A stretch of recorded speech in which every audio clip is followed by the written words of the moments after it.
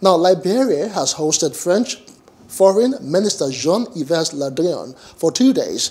The first visit of a French minister to Monrovia in 40 years enabled President George Weah to discuss the strengthening of bilateral relations.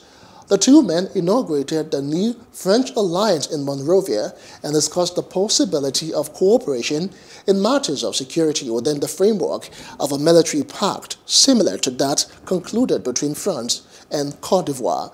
The French minister continued his tour in West Africa with a visit to Burkina Faso. He met in Ouagadougou with President Roch Marc Christian Kabore and offered his country's condolences after the tragedy experienced by the people of Solhan. Hello, hope you enjoyed the news. Please do subscribe to our YouTube channel and don't forget to hit the notification button so you get notified about fresh news updates.